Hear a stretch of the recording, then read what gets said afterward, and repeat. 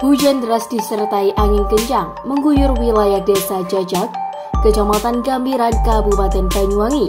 Akibatkan beberapa pohon di ruas jalan provinsi tersebut tumbang.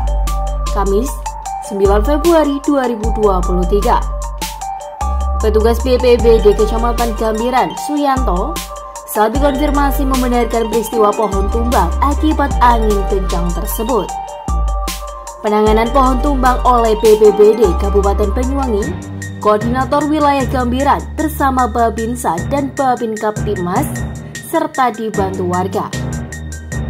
Usai adanya laporan dari masyarakat atas peristiwa pohon tumbang tersebut. Selain pohon tumbang, rupanya jenis bangunan emperan toko yang digunakan pemilik di setiap hari untuk jualan juga ikut roboh akibat hujan deras disertai angin kencang. Beruntung, dalam kejadian pohon tumbang dan tempat berteduh di depan halaman toko, roboh di desa Jajak tidak menimbulkan korban luka maupun jiwa. Namun, kerugian material ditafsir hanya jutaan rupiah.